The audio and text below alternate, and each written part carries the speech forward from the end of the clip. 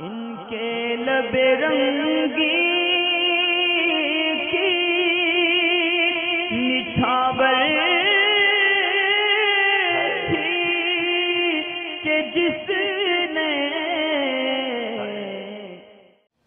عورت کا عطر، خوشبو یا اس طریقے کا کوئی ڈیوڈرن وغیرہ لگانا، لگانے کا کیا حکم ہے اور ساتھ میں اس میں نماز ہوگی یا نہیں ہوگی، اس کے تعلق سے ایک سوال ہے۔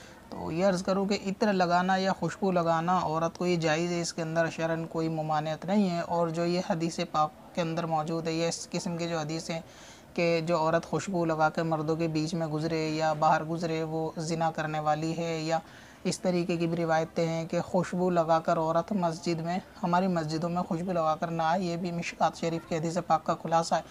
تو اس سے مراد وہ ہے کہ عورت اگر خوشبو لگاتی ہے، اگر آپ کا سوال یہ ہے کہ گھر گھر میں لگ رہنے والی خاتون یا وہ خواتین جو گھر میں محرم کے درمیان رہتی ہیں تو وہ خوشبو لگا سکتی ہیں، اس میں کوئی حرض نہیں ہے۔ یعنی ہلکی اگر خوشبو لگانا چاہیں تو بھی اس میں کوئی مذائقہ نہیں ہے، لیکن یہ کہ وہ خوشبو لگا کر غیر محرم کے سامنے باہر نہ جائیں۔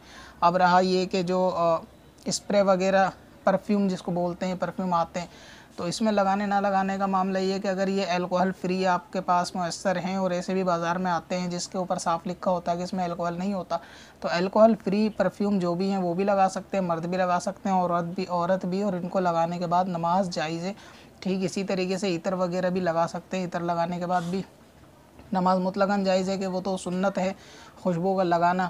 اور یہ کہ عورت کو بھی اس صورت میں جائز ہوگا جبکہ وہ غیر محرم کے سامنے اس کی خوشبو اس کے ساتھ نہ ہو سکے۔ اگر وہ گھر میں رہتی ہے، بچے، شوہر، والد اور اس کے جو یا گھر میں خواتین ہیں، پھر وہ خوشبو لگاتی ہے تو انشاء اللہ تعالیٰ اس کو بھی نماز سے پہلے لگائے گا۔ خوشبو کا یہ ثواب بھی ملے گا۔ یعنی یہ کہ اللہ تعالیٰ کی بارگاہ میں وہ حاضر ہوتی ہے۔ تو اس درمیان اگر خوشبو لگانا چاہتی ہے، بہت سی خواتین ایسا سوال کرتی ہیں کہ وہ نماز سے پہلے لگانا چاہتی ہیں، مگر ان کی مجبوری ہوتی ہے کہ باہر آنا جانا پڑتا ہے۔ تو اس صورت میں کیا کرنا چاہیے؟ تو اس کے لیے سب سے آسان طریقہ یہ کہ خاص اور مخصوص چادر نماز کے لیے طے کر لی جائے گی۔ یہ چادر آپ نماز ہی میں استعمال کریں گے۔ پھر آپ اس چادر کے اوپر خوشبو کو لگا لیا کریں، نماز سے پہلے عطر وغیرہ کو مل لیا کریں اور نماز میں اس چادر کو لپیٹ کر نماز ادا کر لیں۔ تو اس سے کیا ہوگا کہ اللہ تعالیٰ کی بارگاہ میں اگر آپ خوشبو لگا کے جائیں گے تو اس نیت پہ، نیک نیت پہ مرد کے طرح عورت کو بھی انشاءاللہ تعالیٰ ثواب ملے گا۔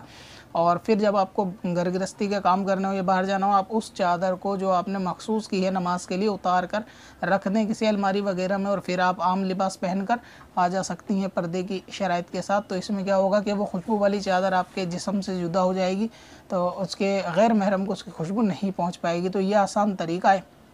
خواتین کے لیے کہ وہ اگر نماز میں عطر لگانا چاہیں، تو وہ اس چادر پہ لگائیں اور پھر اس چادر کو، کپڑے کو پہن کر نماز پڑھ لیں اور بعد نماز اس کو ہٹا دیں۔ یہی معاملہ اسپرے وغیرہ کا بھی ہے کہ اس کے اندر بھی اگر الکوہل وغیرہ کی آمیزش نہیں ہے، تو اس کو لگانے میں بھی کوئی حرض نہیں ہے۔